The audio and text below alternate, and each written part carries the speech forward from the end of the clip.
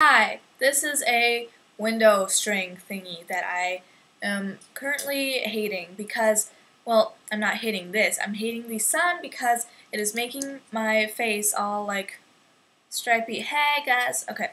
So here's the look I have for you, and since the sun is being so stupid, you probably can't see much of it, but um, if you can, that's what it looks like. And then some bright neon colors, and then I have a coral lip, which is great for spring, even though it's not very spring in Wisconsin. It's kind of still winter. But I'm just going to get started with the tutorial, and I'm sorry about the lighting. So I'm just going to start off with a white base. I use this in like every tutorial that I want to make the colors pop with.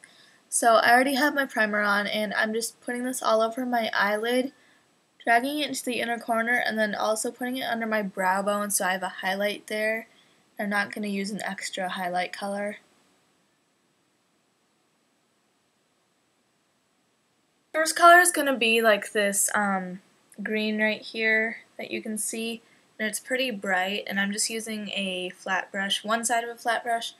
Now I'm going to put that in the inner corner and I'm also going to like blend it towards the middle of my lid, just packing the color on there.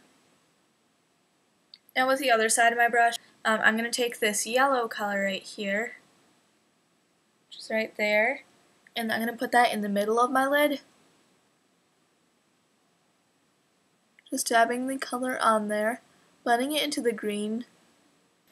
Okay, I'm going to take the other side of my brush or just another flat brush if you want, and I'm putting this orange right there, this one, in my outer corner and it's not like the outer V, I'm just putting this in the outer corner. or like the inner, outer half, outer third, yeah. Now I'm going in with a color like this, it's really unique, I think, and you barely need any of it. I'm choosing the red here, then I'm taking a fluffy brush like this, and then you can see that there's like so much on here, and I barely had to do anything to get that, and then I have a lot of fallout. Okay, so make sure you tap off the excess. This um, color is from Inglot, just by the way, so it's pretty, like, pretty pigmented. So I'm taking that red and I'm putting it into my crease.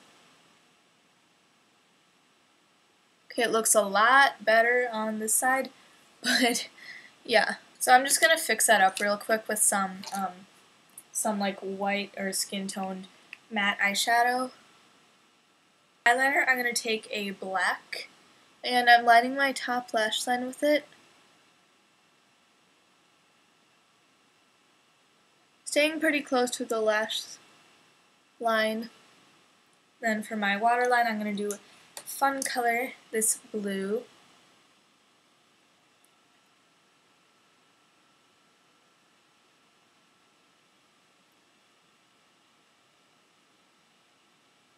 Okay, now I'm going to put on my mascara.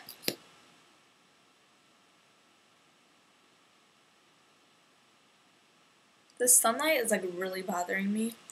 Sorry if it's like bothering you too.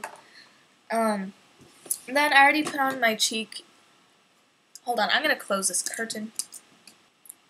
I'm moving like this way so that won't happen. Alright, okay, so I already put on a mineralized skin finish in Petticoat. Um, like kind of just all over my face, but mainly focusing on the cheeks. And then I have on Ever Hip lipstick, which is a coral. And um, Christine from Temptalia.com said that like it was like she hadn't seen like a dupe for it, so this is pretty unique and it's from the Fashion Flower collection, so yeah, it's Everhip. What is going on with the sun? Okay. Yeah, I'll just put some more on. more on. yeah, so this look was just like a fun, tropical, bright, electric look, and um, I hope you guys liked it. I'm just doing one last close look. So that is all, and I will see you guys later. Bye.